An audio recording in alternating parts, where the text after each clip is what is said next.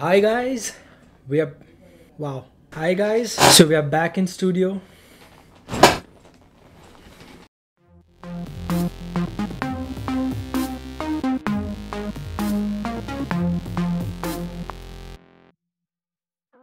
Hello guys and welcome to another video of Curious Human. And today we are going to unbox another drone from Holy Stone. And it is called HS175 it's a little bigger drone than the previous one that we reviewed. It was Holyton HS330. If you haven't seen that, uh, I'll post a link to the video here. Have a look at that video as well. So let's go ahead and unbox this drone and let's see what it has to be a good drone. A really good case. It has an HD camera. Uh, it also has a GPS positioning, uh, camera 90 degree adjustment. Very first impression about this case, it has a really good feel, not really heavy so here's the main drone. Not heavy but it's really it has a good feel. Though fits on a palm so it unfolds just like a really familiar drone a DJI Mavic. And I think it, it is as big as a DJI Mavic Mini. Let's put it here. Drone battery.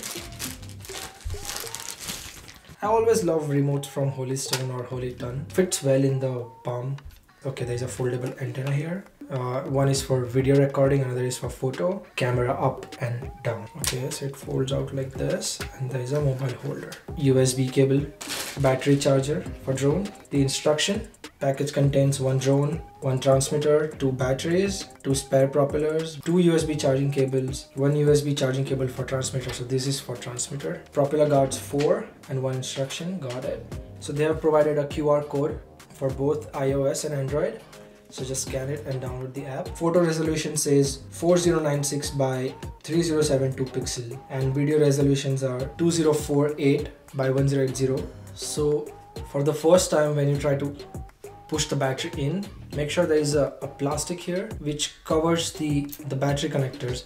So you first remove that and then push the battery in. And to remove the battery push the button and pull it out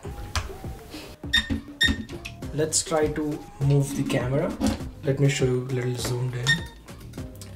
It's coming up you see. It's coming down. There is no speed control and that's the only movement you have. If you're paying a good amount why the drone companies are not investing into gimbal and make it more uh, sellable. So let's download an app that they have mentioned. It says hsgsp version 5 so let's go for next prepare and it says calibrate. Okay so with the press of a button it started flashing and now it is telling me to rotate horizontally.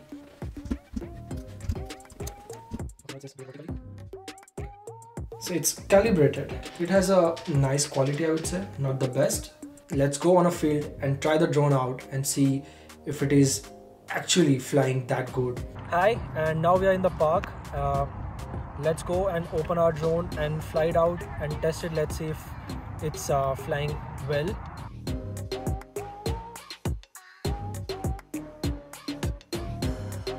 One eternity later.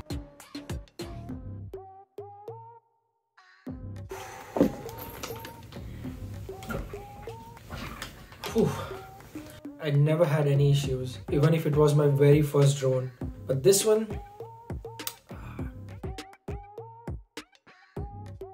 back in the park again. Uh, so when I was here last time I had a very rough time uh, getting this drone up in the air. And the problem was I connect this on an app first and then it doesn't connect on the remote controller. But then I talked with the uh, representatives of Holystone and uh, they they told me that there's a particular sequence that you have to follow to connect uh, to the drone and get the both video footage and the uh, control from the remote controller so let's go ahead and try this out and let's see if we can get this drone up in the air this time. The correct sequence of connecting uh, a, a, drone uh, with our application and with the remote controller is first press and hold to turn on the drone. Turn on the remote controller. So to mount the remote controller with the drone we'll do the left joystick up and down. Once this is done bring our phone open the drone app uh, go and turn on the Wi-Fi. Should see the Wi-Fi from Holystone drone. Tap on that and it says no internet for now. Make sure you say yes to this. Let's go ahead and try to fly the drone.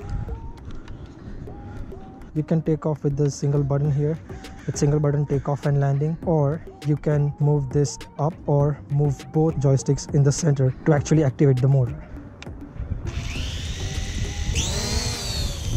so to change the speed of the drone. You have to press this and that means it's on the 100% speed which you can see it here right now. And if you want to go at half speed push it again and a single beep and it goes back to half speed. So video is good. It's not great as I said before. But I mean yeah this is an FPV drone. And FPV footage is great according to me. For all the features tap on apps where you will find rotate around me waypoints follow me and VR mode which are really cool features to have for such a small drone. Now let's try a waypoint. So waypoint is basically you tell the drone to go a certain place like uh, you you plan a path for it. So just tap on the map where you want it to go. And I think you can come back here. Once you have the map ready you press the same button here. It sends the data to the drone and now you can see the drone is actually flying to different locations.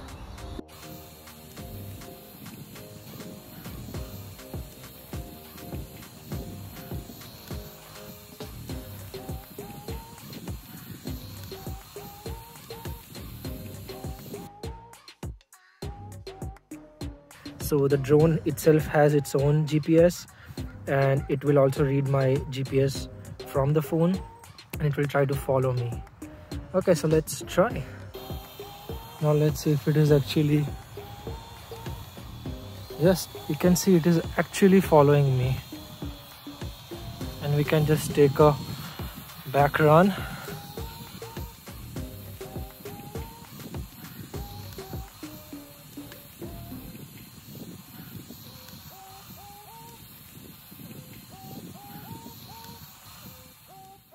Hi guys, we are back in studio and it is time to rate our drone. Here are my ratings for this drone.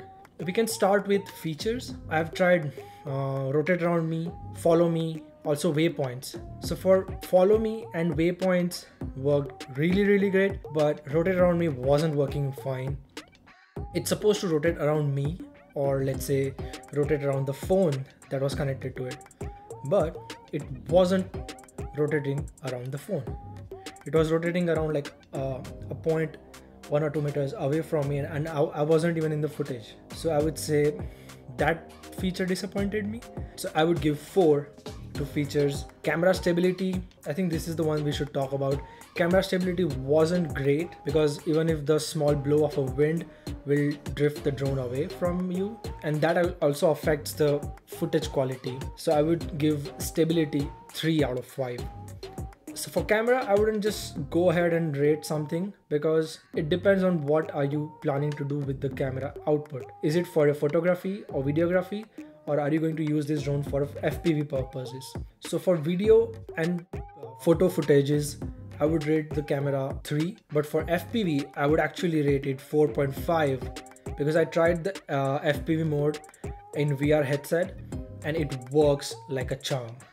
So for fpv go ahead and buy this drone. It's a really good drone.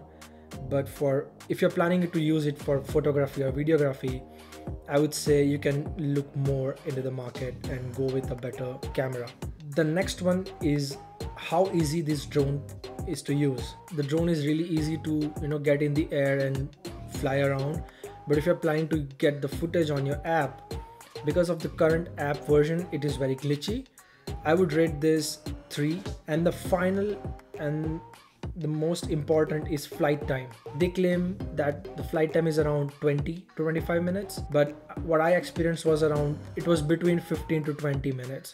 So it's not bad it's not great it's good. So if you're planning for um, fpv practice and just you know learn uh, if you want to learn how to fly a drone this is a good drone and 30 minutes for two batteries is a really great time overall for this drone i would rate 3.5 out of 5 which is a really good rating for a drone guys so that's it from this video guys and don't forget to click and watch a video about how I made my Nanoleaf which I call Vrikxa and the link for that will be somewhere here. Thank you for watching this video. Don't forget to like and subscribe and follow my Instagram curious human. Till then, goodbye.